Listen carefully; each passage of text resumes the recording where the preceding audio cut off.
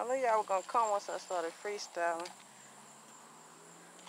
I'm trying to show y'all this little, you see it right there?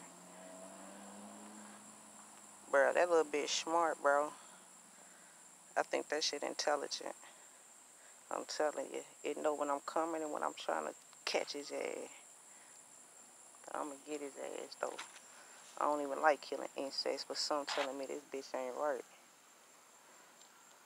Oh my mama.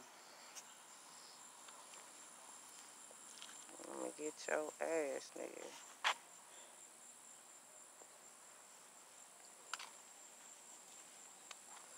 And then you can't find it.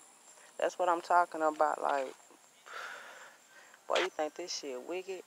This shit more than wicked.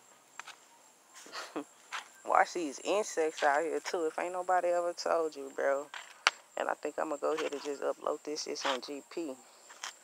Watch see fucking incense, man. These things could be uh, drones, goddamn bots, and all that shit.